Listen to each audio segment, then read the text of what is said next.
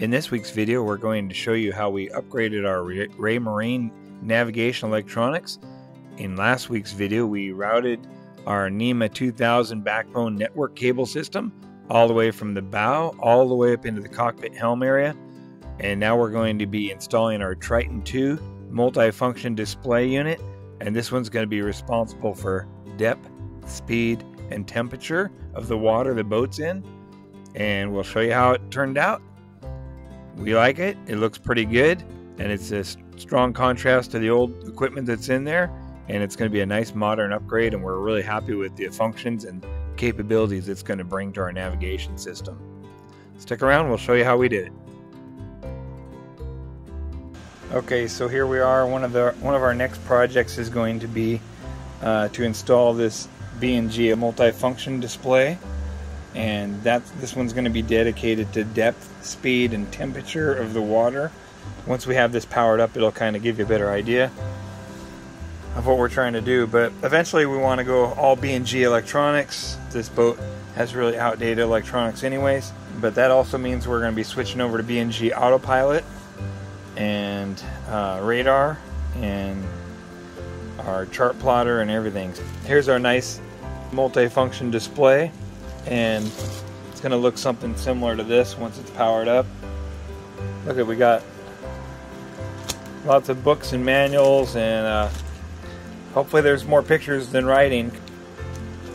Yeah, I'm not I'm not going to be reading all this, but we'll figure it out. All right, so we got this wire ran up through here through the pedestal, which was very difficult. I ended up having to uh, heat this the other end of this up with a heat gun and put a bend in it just to get it to go through this cutout here.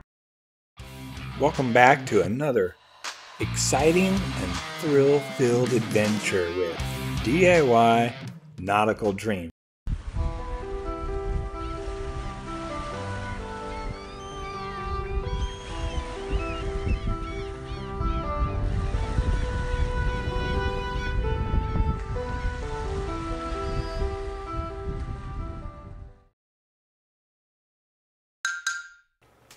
Welcome back to another edition of DIY Nautical Dream. I'm Rich, and hi guys, welcome back. This is Priscilla again. There's Priscilla from the Philippines. Still enjoying my vacation here, but um, still want to help husband to give you guys an update to our DIY project. Anyways, what's going on there, honey? What's happening in the other side of the world?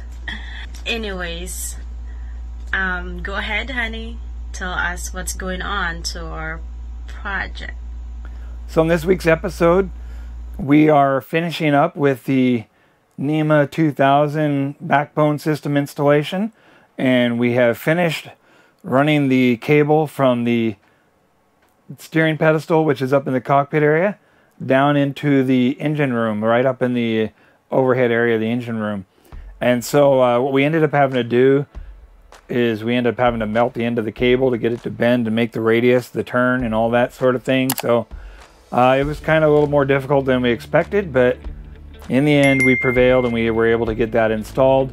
And as you'll see in the video, it turns out pretty good. Stay tuned and we'll show you what we've done.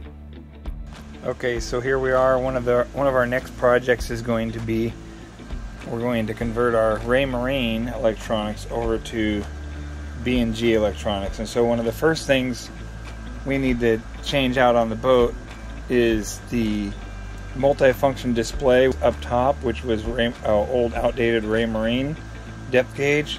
We're going to put in this new Raymarine uh, multi-function display and that this one's going to be dedicated to depth, speed, and temperature of the water that the boat is in. Once we have this powered up, it'll kind of give you a better idea of what we're trying to do. But eventually, we want to go all B&G electronics. I like some of the new features that B&G has. This boat has really outdated electronics, anyways, so we're going to go B&G but that also means we're going to be switching over to B&G Autopilot and uh, radar and our chart plotter and everything. So it's going to be a piece at a time because it's going to be really expensive, and I uh, I don't think we want to pay for it all once. So, anyways, here's our nice uh, multi-function display, and it's going to look something similar to this once it's powered up.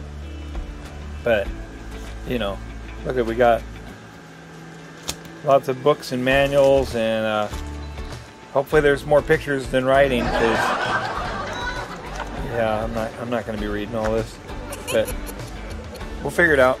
But anyways, yeah. So we got some wiring up ahead of us. We're gonna have to gonna have to plan this this out because it's not just gonna be for this. It's gonna be for the uh, the navigation system and all the other instruments as well. So we'll slowly upgrade to all B&G equipment. Oh wow! This, uh, yeah. And we'll figure it out. I, the nice thing about this is once everything gets all hooked up, I'm going to have several of these T-fittings. I'll have these up in the actual, um, up inside the helm and the up inside the nav pod area. I'll have a couple of these in there. And so really, everything should, all the gauges should just tie into this backbone system here. And then we only have to run one wire down from the helm down through the engine room and tie into the main the main uh, wire harness. I'm hoping that'll be a lot easier because this is pretty this is pretty bulky diameter wise to still try and run through a really small uh, tube up into the helm so that's still going to be tricky because there's other wires in there as well so we'll figure it out but all right so what we had to do we needed some more T-fittings so what we ended up doing was we now have the NMEA 2000 backbone network cable all the way to here in the engine room and it's flows all the way down there. You know you saw in the previous video where we snaked it all the way under the floor and all that stuff from about midship aft. So now what we need instead of getting a T-fitting and putting it in down here what we did is we got another network cable and we a shorter one and we hooked it up up into the nav pod area up, up up in the cockpit and we routed it down. But I couldn't get the cable to make the bend through the nav pod frame up at the, the helm frame there the steering helm those stainless tubes. I couldn't get it to make the bend so what I ended up having to do was I had to heat this up and put a little bit of a radius a little bend into it so that took a lot. I had to get that heated up. And you can see here where I had the twine on it to pull it through. So I had to put some really small twine on there and pull that down through here into the uh, into the compart engine compartment here. So you see where it's at right there. And we also deleted quite a few more wires. So now we have plenty of room in there for more cables if we ever needed to. But I think we have what we need. Now we have multiple T-fittings up in the uh, nav pod, which allows us to expand to multiple more multi-function displays. And so that's exactly what we are looking for. And so for now, we just need to put these two connections together. So stand by and we'll set up for that. All right, so we're gonna route it on the back side of this ventilation duct here, the tube. And then we'll mate these two together right here. And remember we have to turn them till they clock together. And then right here. And we just want to make it tight but not super tight. And that's it right there. So now we have these connected and that will allow all of our data from like the uh, forward transducer that we installed. It will allow that to register up on the multifunction display up in the uh, steering helm pedestal area we'll just kind of leave this for right now how it is. It's it's fastened with a couple of zip ties. We have a lot more we have a lot more work we're going to be doing. And then we also ran the power cable for the backbone system, the network, ran it into the uh, electrical panel area. And then, like I said, we want to expand to more B&G uh, displays for our GPS, navigation, autopilot, the wind vane, all that stuff is going to be all B&G, and a lot of that will operate on the NMEA 2000 network. So that'll be really good that we have that in there. It's kind of like the foundation of our electronics. And so we're looking forward to expanding more on that. Don't want to ramble on too much about it, but I'll show you what we got going on here. So that's it, and you can see you can see here where I had to heat it up a little bit to bend it. And uh, yeah, so we just heated that with a heat gun. Just gradually kept warming it a little bit more, a little bit more, and trying to put a little bit of a bend into it. And just enough that it made it through that radius. I could have went with a smaller cable that had a little bit less heavy duty connections on it, but I wanted to go with something big and heavy duty that hopefully will last the test of time. And then here, this is going to the Raymarine chart plotter, which eventually we're going to be uh, deleting all those as well, but for right now we'll leave it. So that's it. We'll just close up the close the doors back up here in the engine room.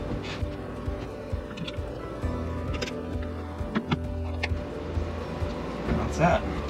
So here's a sample of a few of the screens we saw when we first initially powered it up.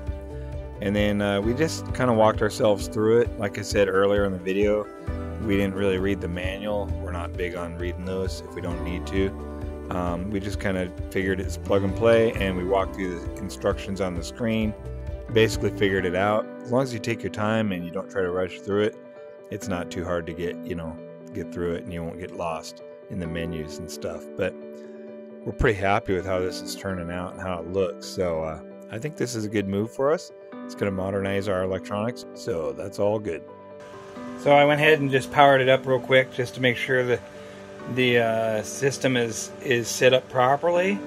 I went ahead, went in through all the uh, menu settings on here, and was able to get it to automatically recognize that the transducer uh, is the right one, and it's working. So that's a good thing. So now we're just going to go ahead and continue on with the uh, routing the wires up until the, the bottom of the cockpit.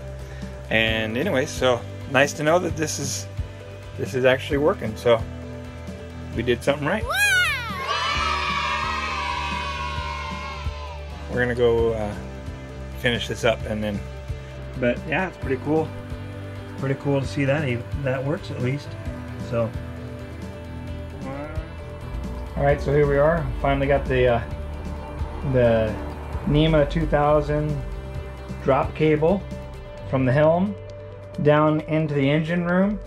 I ended up having to heat this up with a heat gun and put a, a bend in it and let it cool in that direction to be able to get it to fit through the cutout right here because the cutout is such a uh, sharp radius to get it to start heading down into the, uh, helm pedestal, steering pedestal. So anyways, we went ahead and brought this up. I hooked up a little mini uh, drop cable to it. We have our B&G screen here and we're to go ahead and try this out and see see if it works.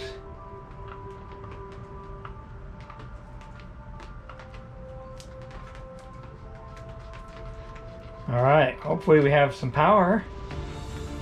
Well, look at there. Anyway, so that's pretty cool. So that means everything works. Let's see what happens after this powers up. Let's see if we can go to the menu.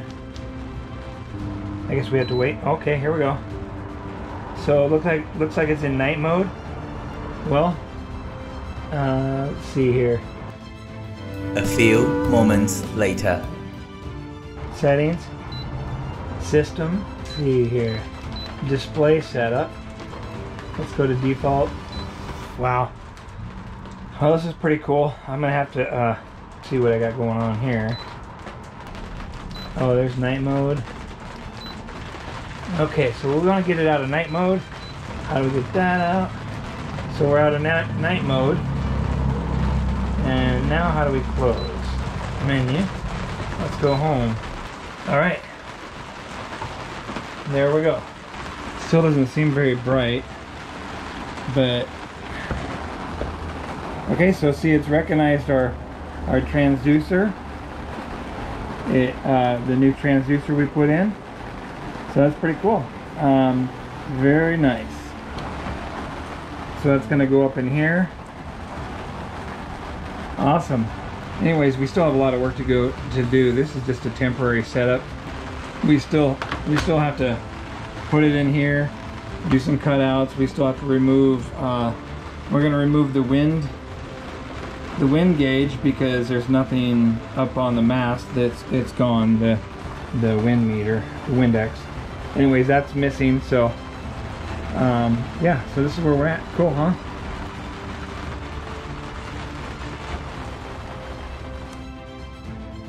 So here it is. Take a look. Looks pretty nice. We'll go into a little bit of details of all the hard work it took to get here but it was worth it in the end well, this is pretty cool. This is a big success here. We got the uh, finally got the little B&G screen here, multi-function display up up at the uh, helm station up in the cockpit. Uh, I had to run this this really bad, really thick, heavy uh, backbone cable all the way from the engine room up through the the leg of the pedestal here, through that curve through another curve there, and then all the way down. And at the bottom, down here, is goes into the uh, engine room. And so I had to I had to force this cable, which it did not want to go. And um, I ended up having to heat this other the other end of this and melt a melt a little bit of a bend into it, and otherwise it was never going to make this radius, this curve right here and uh, that worked. So that's pretty cool. So now with this setup here, we have uh, hookups for one, two, three more, three more display units. So that'll work perfect for what we're what we're gonna do here. We, we're gonna put in um, two more at least. So that's gonna work out really nice. And uh, we'll have I'll show you I'll show you here in a second what we have going on. So here we are. We have the screen the multifunction display is going to sit up in here, something like that. And then uh, where the center one is, that's the autopilot that we currently have right now. That's Raymarine. And then um, we'll eventually switch that over to B&G. Um, the Windex gauge is going to be next. That's the one that's right here. Um, because the, the actual the sensor, which is at the top of the mast, is broken, and it doesn't send any data down here. It just uh, shows zero wind speed all the time. I have the power plug on uh, disconnected this time. But anyways, that's the next one we're going to disconnect. And then, anyway, so that's pretty cool. But the problem is, is the center gauge here, see how much wider it is than the other ones? Well, that means behind that gauge is uh, a different hole pattern than what's going to be for the uh, the B&G screen. So I'm already working on an idea in order to make that look a little nicer because I don't want to see those holes um, once we have the new screens mounted and stuff. But that's down the road. For now, we're just happy that we got this screen in here. Everything works. It powers up. It recognizes the um, the new sensor, the new through hole sensor the, that's up in the bow, at the bottom of the bow. Depth, speed, and temperature. So that's cool. Plus angle. And uh, yeah, really nice. All right, here we are. This is kind of give you an idea what it's going to look like when everything's all turned on, but you can see the screen on the uh, GPS is kind of got some interference with it. It's an old unit. We're definitely going to replace it. It should work for what we're going to need it for in the uh, near term. The radar will be replaced. The new Windex uh, wind gauge will be replaced. The autopilot will be replaced. So yeah, anyways, one thing at a time, but this kind of gives you an idea what the future is going to look like. And we also have this forward looking sonar, which it actually works. Although the screen is very dim and it's really basically useful only at nighttime, uh, but it still works. So maybe we replace the screen down the road and we just keep it in there as uh, some kind of a backup if we're going through shallow, rocky areas or whatever. So after taking all the time to route that NMEA 2000 backbone network cable from the bow all the way back to the uh, engine compartment and up into the cockpit helm area, in order to install this B&G Triton 2 multifunction display. We're really happy with the results. It's dramatically changing and updating the look on our navigation helm display area. And so, yeah, it's looking pretty nice. It's modernizing it, and that's a huge upgrade. So, we're really happy with it. We're really looking forward to picking up the rest of the components. It'll be over time, but eventually we'll develop this and update the rest of the components as well. And it'll be worth it in the end. We'll have a really nice modern navigation area here in the cockpit. Okay, we're back. And uh, yeah, that wasn't too hard. It wasn't that easy as well, but uh, we had that little obstacle of getting that cable to make the bend radius. Uh, I think heating that up was the best way to go. Otherwise, we would have had to run with a smaller diameter cable, and I really wanted to try to have as much heavy duty cable as we could get in there just because I don't want any power loss. Uh, I don't want any signal loss or, any, or anything like that through the length of the cable. So I think that we're good with that. And uh, so that's to, now having that whole network cable installed is going to provide us expandability down the road, which is really a nice thing. That's something we were looking forward to. And, uh, you know, later on we'll add GPS and um, radar and all that stuff and it'll all tie in together. And also having that network cable in there is going to allow us to add uh, fuel and water tank sensors and all kinds of other stuff down the road. So the, the uh, expandability is really nice. And uh, so yeah, we're happy about that. So anyways, that'll wrap it up for this video. I hope you guys enjoyed that install. And uh, remember, it's not a recommendation of how, how you should do it. It's how we did it. So turned out all right. Baby, what do you have to say? How does it go from here? I can't remember. She's the one always says it. All right. Thanks for watching, guys. If you are not subscribed yet, please subscribe down below. And cling. Don't forget to like and subscribe. Comment down below. Thanks for watching. See, See ya. ya. We should be back together and back to normal here pretty soon. Thanks for your patience and hope you enjoyed the video. Man, if I only hit record.